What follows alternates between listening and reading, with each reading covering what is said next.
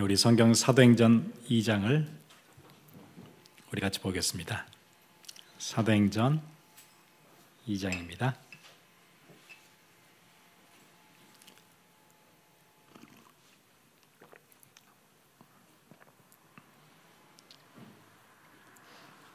우리 42절부터 우리 마지막 절 47절까지를 우리 함께 같이 보겠습니다. 사도행전 2장 42절에서 47절에 있는 말씀 우리 같이 보겠습니다. 예, 제가 여러분을 위해서 봉독해 드립니다. 그들이 사도의 가르침을 받아 서로 교제하고 떡을 떼며 오로지 기도하기를 힘쓰니라. 사람마다 두려워하는데 사도들로 말미암아 기사와 표적이 많이 나타나니 믿는 사람이 다 함께 있어 모든 물건을 서로 통용하고 또 재산과 소유를 팔아 각 사람의 필요를 따라 나눠주며 날마다 마음을 같이하여 성전에 모이기를 힘쓰고 집에서 떡을 떼며 기쁨과 순전한 마음으로 음식을 먹고 하나님을 찬미하며 또 온 백성에게 칭송을 받으니 주께서 구원받는 사람을 날마다 더하게 하시니라. 아멘.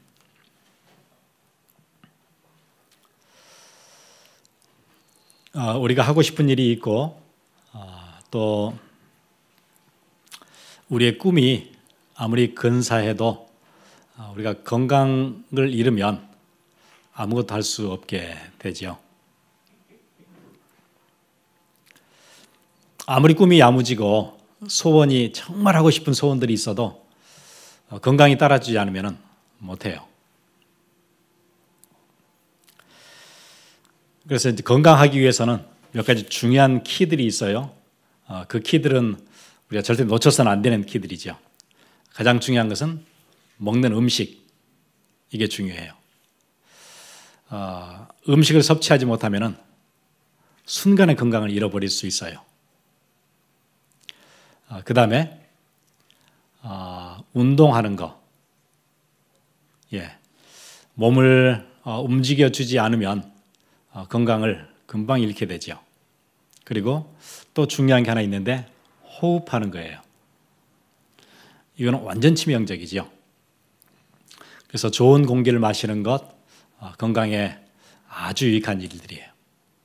만약에 아, 불이 났을 때 연기를 마시게 되면은 사람들이 불이 났을 때 불에 타서 죽는 게 아니고 질식해서 죽거든요. 예. 어, 제대로 된 산소를 공급하지 못하면 금방 몸은 망가져요.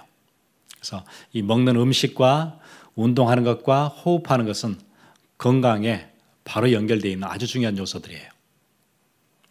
우리의 영적인 상태도 그럴 거예요. 우리의 영적인 상태도 이런 중요한 세 가지가 있어요. 우리가 먹는 것이 중요한 것처럼 우리가 말씀을 듣는 것, 말씀을 섭취하는 것, 우리의 영적 생활에 아주 치명적인 것이에요. 풍성하게 우리가 말씀을 들을 때 우리 영은 금방 살아나고 이게 끊기면은 금방 우리의 영은 아, 힘을 잃게 되고 무너져요. 그리고는 건강, 이 중요, 아, 저 운동이 중요하듯이 우리의 영적인 생활에서도 아, 섬기고 봉사하고 공동체를 만들고 힘을 모으는 이런 일들, 여러분이 교회 안에서 봉사하는 일들, 이게 얼마나 소중한지 몰라요. 이게 우리를 건강하게 만들어줘요. 영적으로. 그리고 어, 호흡하는 것처럼 우리의 기도, 하나님과 계속 관계를 맺는 것, 하나님과 친밀함을 계속 쌓아가는 것, 여러분의 영적 생활에 아주 중요한 부분들이에요. 이 세 가지. 절대 여러분 잊지 마셔야 돼요. 어, 이것들을 가지고 그럼 우리는 건강만 하면 되느냐? 건강한 사람이 해야 할 일이 있는 것처럼 건강을 가지고 사회 활동도 하고 경제 활동도 하고 취미 생활도 하고 서로 뭐 가족끼리 어, 연합하기도 하고 이런 활동을 하는 것처럼 건강한 영적인 상태를 가지고 해야 할 일이 있어요. 그게 사명이에요.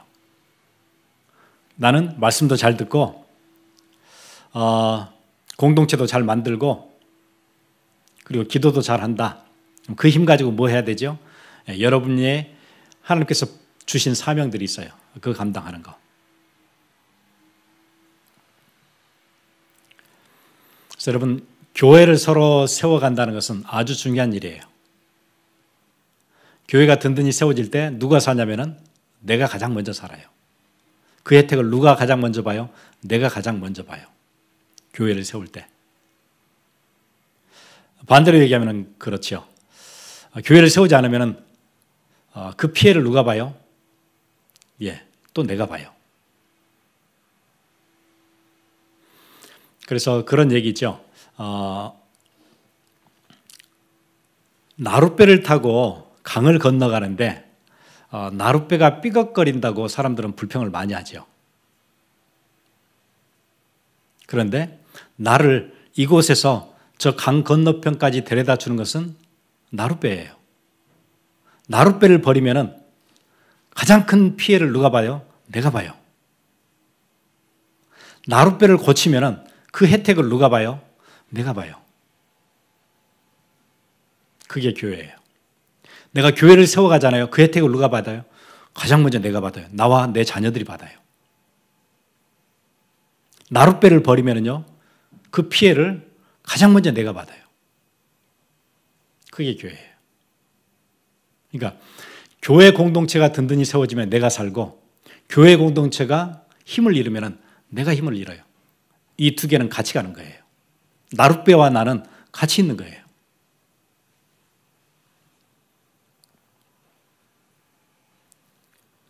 그래서 어, 교회를 세워나가고 우리의 사역을 하는데 가장 중요한 것 오늘 사도행전 2장에 교회가 막 형성이 되어졌을 때 가장 중요한 세 가지를 잃지 않고 붙잡고 있었어요. 이 세 가지 한번 보세요. 42절이죠.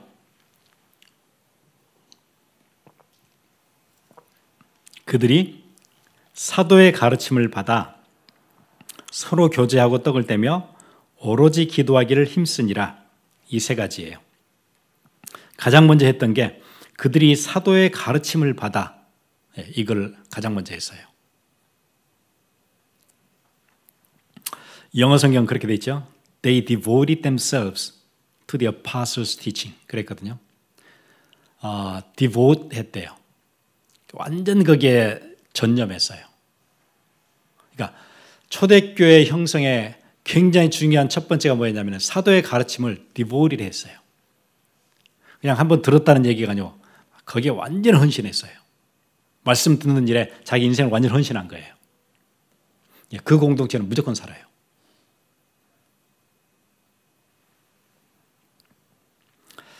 그래서 여러분 사는 길이 어, 그거예요. 말씀 듣는 일에 완전 전, 전무하는 거예요. 이유가 있죠. 왜냐하면 하나님은 어떤 일을 행하시기 전에 미리 알려주세요. 반드시 그렇게 하세요. 누구를 통해서요? 메신저를 통해서. 왜 내게 갑자기 이런 일이 생겼습니까? 예, 이미 알려줬었어요. 메신저를 통해서. 왜 갑자기 이런 일이 생겼습니까? 갑자기가 아니고 알려줬었어요. 우리가 안 들었죠. 여러분 보시면은 이스라엘을 애굽에서 건져내시기 전에 모세라는 사람을 통해서 알려주셨어요. 어떻게 건지실 것인지. 어떻게 하면은 거기서 구원받는지 얘기 다 해줬어요. 문설주에 피 바르도록 얘기 다 해줬고, 다 알려줬어요. 구원하실 때도 먼저 알려주세요. 또, 이스라엘이 위기를 만날 때도 알려주세요. 이사야를 통해서 이렇게 하면은 나라 곧 망하게 된다. 계속해서 얘기를 했어요. 예. 무너지기 전에도 알려주세요. 구원하시기 전에도 알려주세요. 누구를 통해서요? 예, 메신저를 통해서. 그러니까 사도의 가르침을 받아 이거는 누가 사는 거예요? 내가 사는 거예요.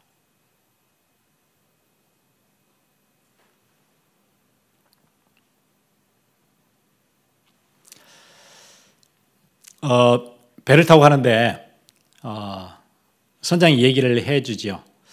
어, 좀 파도가 심하니까 바람이 심하니까 어, 라이프 자켓 잘 입으세요. 이렇게 얘기를 해주겠죠. 예, 우리의 삶 가운데서도 하나님 메신저를 통해서 얘기를 해 주세요. 아, 이거 시작해야 된다. 이거 진짜 중요하다. 이거 붙잡아야 된다.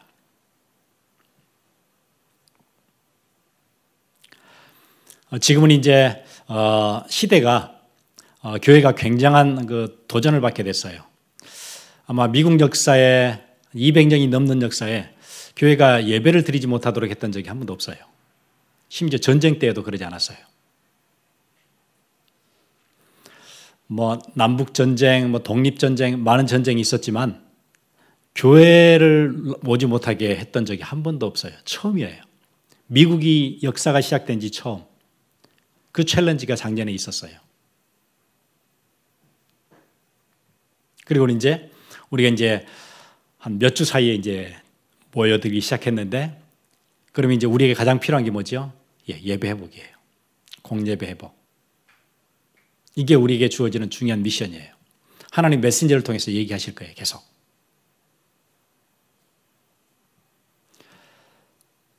하나님께서 한 교회를 이렇게 세우실 때 누구를 통해서 얘기하세요? 메신저를 통해서 얘기하세요. 위기가 올 때도 얘기하세요. 2차 팬데믹이 온다고 하나님 메시지를 통해서 얘기해 주셨어요. 그리고 세상을 지금 보세요. 뉴스에 계속 나오지요. 증오 범죄들 계속 터지지요. 뭐 오렌지 카운티에 또 어디에 뉴욕의 지하철에 계속 터져요. 사고들 계속 터지죠. 하나님 메신저를 통해서 얘기해 주세요. 그래서 어, 사도의 가르침을 받아 굉장히 중요한 얘기죠. 그리고는 서로 교제하며 떡을 떼고 말씀을 듣고 그친 게 아니고 함께 모여서 교제했어요. 서로 떡을 떼고 교제하고 교회 안에서 이제 친교하는 부분인데 친교가 가벼운 게 아니라 교회를 형성하는 데 굉장히 중요한 기회예요. 근데 지금 우리가 어, 친교도 어, 우리 1년 내내 하지 못했지요. 이러면 영적으로 타격이 굉장히 커요. 마치 어, 운동을 전혀 않고 쭉 살았던 사람처럼 전혀 활동을 않고 그냥 방에 계속 앉아 있다. 이러면 이제 문제 생기는 거예요. 계속 나는 누워 있었다. 문제 생기지요. 그래서 환자들이 무서운 게 침대에 계속 누워 있으면 뭐가 생겨요? 살이 썩어요. 그 욕창이 생겨요. 그래서 환자들을 이렇게 계속 그런 침대 있지요. 이렇게 각을 기울여 가지고 이렇게 한쪽으로 눕히고 이쪽으로 눕히고 이걸 계속 번갈아서 몇 시간마다 해줘야 돼요. 그렇지 않으면 썩어요. 몸의 기능들이 무너지면서 살이 썩어요. 우리가 교제하지 않으면 우리 영적으로 굉장한 타격을 받아요. 굉장한 피해가 와요. 교제하는 거예요. 그 다음에 오로지 기도하기를 힘쓰니라. 예, 기도 공동체를 만드는 것. 함께 모여서 기도하고 여기저기서 기도 모임하고 이 일들이 중요해요. 왜냐하면 우리는 무능한데 또 우리는 아무 힘이 없는데 우리가 기도할 때 뭘 주세요? 능력을 주세요. 우리의 무능이 사라져요. 안 그러면 우리는 무능 속에 계속 살아야 될 거예요. 이 공동체를 초대교회는 절대 놓치지 않은 거예요. 이 세계를. 그러다가 문제가 왔어요. 로마가 극심한 박해를 시작했어요. 아마 처음에 시작은 로마의 황제 중에 아마 네로 황제 때 시작을 아마 했지요. 네로는 어, 굉장히 특이한 사람이었어요. 아마 역사학자들이 다 그렇게 얘기하는데 로마 시내 엄청난 큰 화재가 있었어요. 14개 구역 중에 12개가 전소됐어요. 그러니까 역사가들은 얘기하기를 어, 네로, 네로가 불을 질렀다 이렇게 얘기하죠. 새로 도시를 새로 구역해서 새로 짓고 싶어가지고 불을 질렀어요. 그래 놓고 나중에 어, 자기가 했다는 것을 그 비난을 받기 싫어서 유태인들이 했다. 특히 기독교인들이 했다. 이렇게 어, 자기가 했던 것을 기독교인들에게 비난을 돌렸어요. 또 그럴 수밖에 없는 게 그 14개 구역 중에 12개 구역 말고 2개 구역이 어, 기독교인들이 그 집단으로 모여 사는 구역이었어요. 그쪽만 타지 않았다 그러죠. 예, 이런 여러 가지 정황들이 섞여서 기독교인들에게 뒤집어 씌웠죠. 그리고는 여러 가지 정치적인 정치를 잘 하지 못했기 때문에 정치적인 비난들을 많이 받았지요. 예, 그 모든 것들 비난들을 기독교인들이 우리에게 어, 재앙을 가져다 준다. 빨리 이것들을 없애야 우리가 아, 로마가 다시 든든해진다. 예, 이렇게 뒤집어 씌웠었어요. 왜냐하면 네로는 별로 정치를 안 했거든요. 여러분 아시듯이 네로는 자기가 예술가라고 생각했어요. 시를 쓰고 로마 시내를 불지르고 시를 쓰고요. 그리고 가수에 데뷔하고요. 공연 다니고 그랬었어요. 그러니까 진짜 예술하는 사람들이 네로를 엄청 싫어했다 그러죠. 실제 콘서트를 다녔어요. 자기가 노래하면서.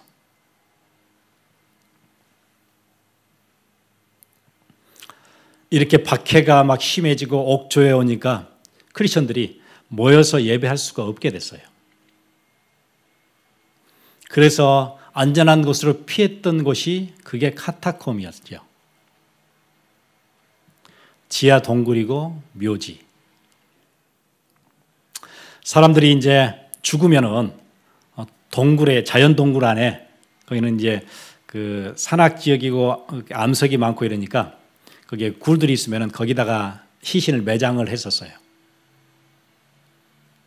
그런데 가난한 사람들은 그걸 확보하지 못했기 때문에 그 지하 동굴 안에서 밑에다 땅을 파가지고 거기다 묻고 또 땅을 파서 묻고 계속 땅을 파서 묻었어요.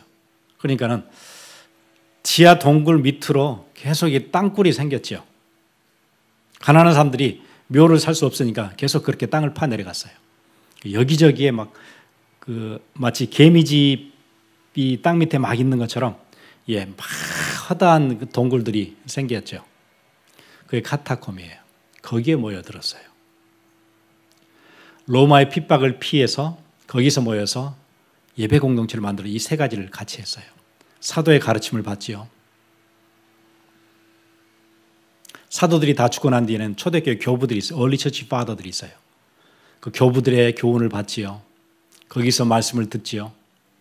거기서 함께 교제하지요. 거기서 기도 공동체를 만들지요.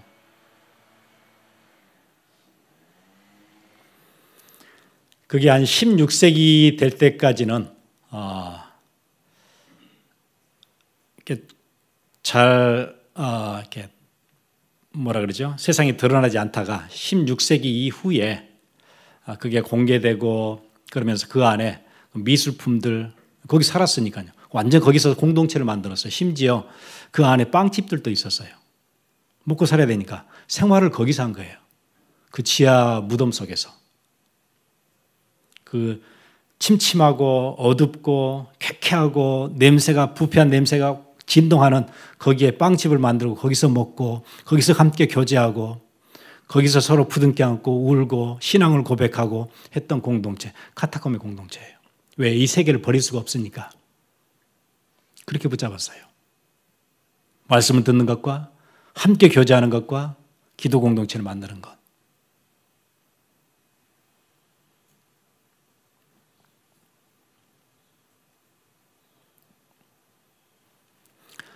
예. 교회의 본질을 포기, 포기하지 않은 공동체. 세상을 바꾸는 공동체예요. 또 역사에서는 또 우리 우리 지난주에 얘기했던 중국의 지하 교회들 보세요. 뭐 삼자 교회도 있지만 그 지하 교회들 몰래 모여서 예배하는 북한에 있는 지하 교회들. 예, 이 세계를 포기하지 못하는 거예요. 함께 같이 모여서 교제하고 말씀을 듣고 기도하는 공동체. 여러분 미들리스트의 중동에 있는 크리스천들 보세요. 핍박 엄청 심하지요. 마을 사람들이 한꺼번에 몰려들어서 막 교회를 불지르기도 하고 사람들 죽이기도 하고 그 도시에 그 마을에 살인 사건이 하나 나면은 모든 죄를 누구한테 뒤집어 씌워요? 예, 크리스천한테 다 뒤집어 씌워요. 그리고 우리 그, 그 선교사님 제자 중에 그런 사람이 있었죠. 마을에 살인 사건이 났는데 그 사람에게 뒤집어 씌웠어요. 그럼 교도소에서 뭐라 그래요? 개종하면은 벗겨줄게. 이 누명 벗겨줄게. 개종해. 이렇게 괴롭혀요. 그런데 포기하지 않고 모이는 공동체에 있어요.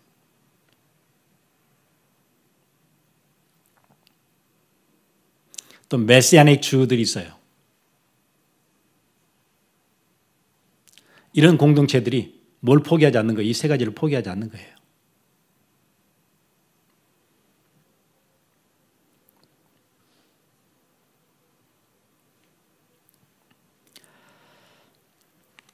이 공동체를 만들어서 예배 공동체를 만들어내는 일은 얼마나 소중했던 일인지 여러분 창세기에 보시면 그렇게 돼 있죠. 2장 18절에 여호와 하나님이 가라사대 사람이 독차하는 것이 좋지 못하니 내가 그를 위하여 돕는 배필을 지, 돕는 배필을 지으리라 하시니라. 예, 사람이 독처하는 것이 좋지 못하니 혼자 있는 것이 좋지 않다 그래요. 공동체를 만들어요. 가장 기본적인 공동체가 가정이라는 공동체. 그 믿음의 가정들이 함께 모이는 교회 공동체.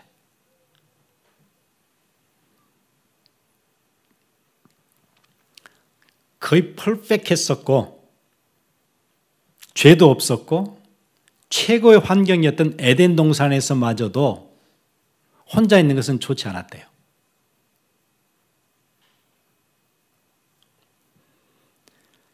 역사가 시작된 이래 가장 안전했던 곳에서도 혼자 있는 것은 좋지 않았다고 하나님 보신 거예요.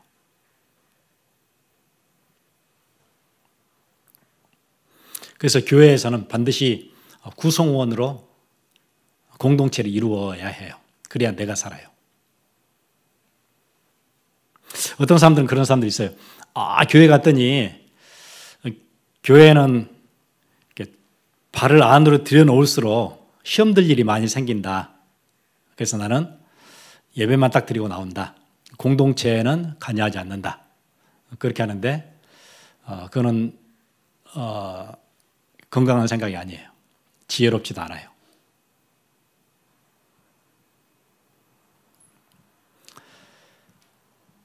그러면 절대 공동체가 되질 않지요. 여러분 어, 가끔 영화관에 가서 영화를 보고 나오는데 우리가 공동체다 그러진 않지요. 영화 보고 나오는 거예요. 같이 봤던 영화 봤던 사람들이 공동체를 이루나요? 그런 게 아니에요. 영화 보고 나오는 거예요. 예배를 그렇게 생각하는 사람도 있어요. 영화 보고 나오듯이 그냥 보고 나와요. 그 영화관에서는 아무런 공동체가 만들어지지 않아요.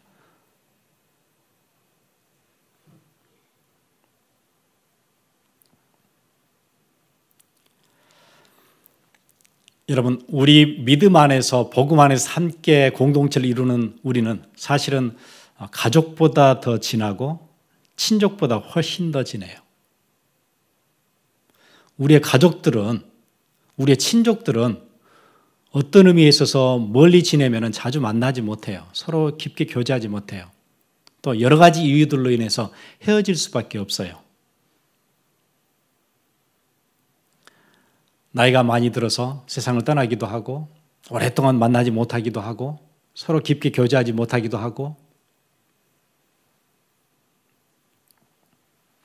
그런데 믿음의 공동체는 그게 아니에요. 여기서 함께 만든 이 공동체는 어디까지 가는 거예요? 예. 우리의 하나님 나라에 갈 때까지 계속 가는 공동체예요. 영원한 공동체예요. 소중한 공동체예요. 이게 우리의 배경이에요.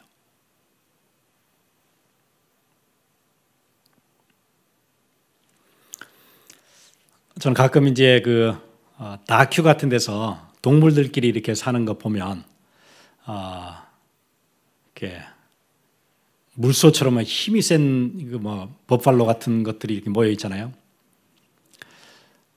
근데 이렇게 사자들이 오면 내 생각에는 같이 모여 있으면 괜찮을 것 같은데 막 흩어지니까는 잡혀 죽는 것 같아요. 같이 모이면 살잖아요. 힘이 있으니까 딱 이렇게 둘러서서 딱 버티면은 사자가 덤비지 못할 것 같은데 뿔뿔이 흩어지다가 당하는 것 같아요. 예, 교회 공동체도 똑같아요. 흩어지면 내가 안전해지는 게 아니고 흩어지면 내가 위험해져요. 사단은 우는 사자처럼 두루 다닌다 그랬어요. 그래서 누구를 찾아요? 흩어져 있는 사람을 찾는다 그래요. 산길자를 찾아요. 우는 사자처럼 두루 다니면서. 그러니까 아 나는 어, 교회 공동체에 들어가면은 막 속상한 일도 많고 시험 들 일도 많고 그래서 나는 혼자 따로 다니겠다. 그러면 뭐의 표적이 되겠죠? 우는 사자의 표적이 쉽게 될 거예요. 관리를 못 받으니까.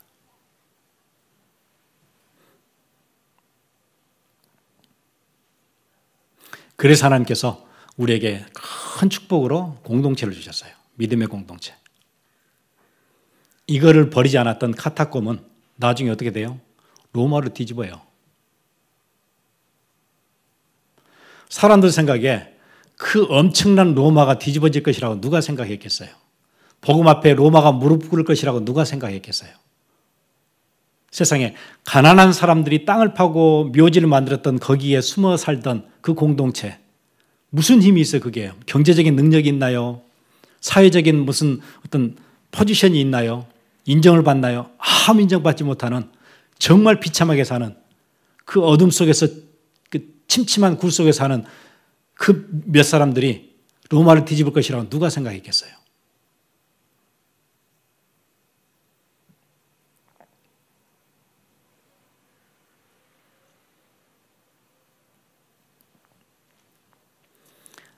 이 세 가지 여러분 중요하게 붙잡고 있으면 절대 무너지지 않아요. 그 키에르케고리가 그 그런 얘기를 했어요. 재미있는 얘기를 했죠. 예수 그리스도는 물로 포도주를 만드셨다. 그런데 교회는 그보다 더 위대한 일을 했다. 포도주를 물로 만든 것이다.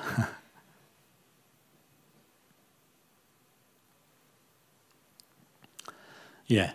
초대교회가 우리에게 주셨던 또 그리스의 제자들에게 물려주셨던 이 아름다운 것들, 이 소중한 것들, 이 가치 있는 것을 우리는 다시 물로 만드는 아무 맛도 안 나는 것을 만드는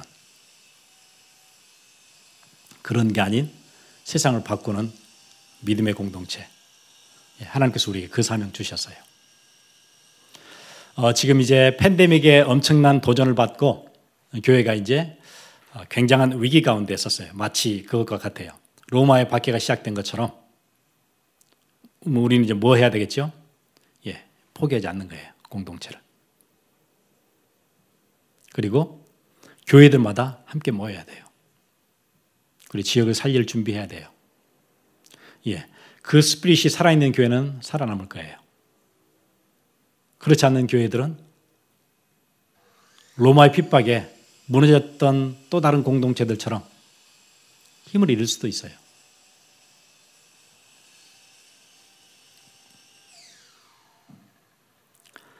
컬러시움과 함께 영원히 세계를 지배할 것 같은 로마는